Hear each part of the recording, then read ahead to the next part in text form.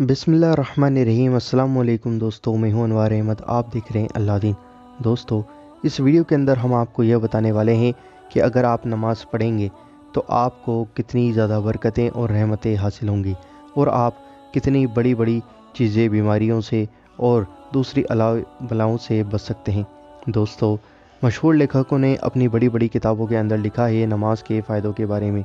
दोस्तों हम आपको इस वीडियो के अंदर नमाज़ और साइंस से जुड़ी कुछ बातें बताएँगे। तो आप इस वीडियो को पूरा और आखिर तक ज़रूर देखना और इस वीडियो को लाइक कर दो और इस वीडियो को शेयर कर दो, ताकि हर इंसान को नमाज़ की अहमियत के बारे में पता लग जाए। आइए नाजरीन जानते हैं। नमाज़ एक इबादत है, जो हर बालिग मर्द और औरत पर फ़र्ज़ है। दुनिया व आखिरत में इसकी बेशुमार बरकतें हैं। आज की मेडिकल साइंस में नए नए अंदाज में इसकी बरकतें और फ़ायदे बताए जा रहे हैं। जिन्हें समझकर लोग इस्लाम के करीब आ रहे हैं और इस्लाम को अपना रहे हैं और जिनके नसीब में इस्लाम की दौलत मुकद्दर हो चुकी है, वह इस नेमत को हासिल कर लेते हैं।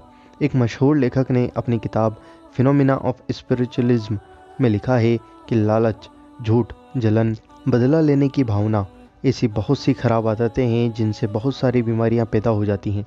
ये सारे गैर अखलाकी काम नमाज़ की बरकत से दूर हो जाते मशहूर लेखक vice admiral William Usborne Moore ने अपनी किताब द वॉइसेस में कहा है कि अगर रूहानी मुकाम हासिल करना चाहते हो तो नमाज़ पढ़ो।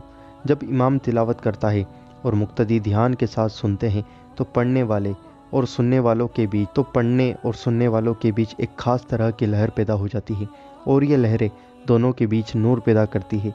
इमाम के द्वारा बोले गए कुरान के हर लफ्ज़ की बरकत से मुक्तदियों की बहुत सी रूहानी बीमारियों का खात्मा हो जाता है।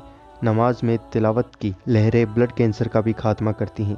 औरतों के लिए हुक्म है कि वह सजदे में कोहनियों को न फैलाएँ, बल्कि उनकी कोहनियाँ बदन के साथ लगी रहे। इसमें हिकमत यह है कि ऐसा करने से उनके जिस्म पर बहुत अच्छा असर पड़ता है। दोस्तों, आपको ये वीडियो कैसी लगी हमें कमेंट करके ज़रूर बताएँ। दोस्तों, अल्लाह ताला से दुआ है कि अल्लाह ताला अपने हबीब के सदक़े ओली अल्लाह के सदक़े हम सबको पंज वक्ता नमाज़ पढ़ने की तोफ़ी अता फ़रमाए। आमीन, अल्लाहुम्मा आमीन। आप भी कमेंट बॉक्स में आमीन ज़रूर लिखें क्या पता किसके मुँह से निकला हुआ आमीन कब कबूल हो जाए। दोस्तों, वीडियो को लाइक कर दो और इस वीडियो को शेयर कर दो। और अगर आप चैनल पर नए हों तो सब्सक्राइब करके बेल आइकन ज़रूर दबा दो ताकि आपको हमारी आने वाली हर वीडियो का नोटिफिकेशन मिल जाए, मिल जाएगा।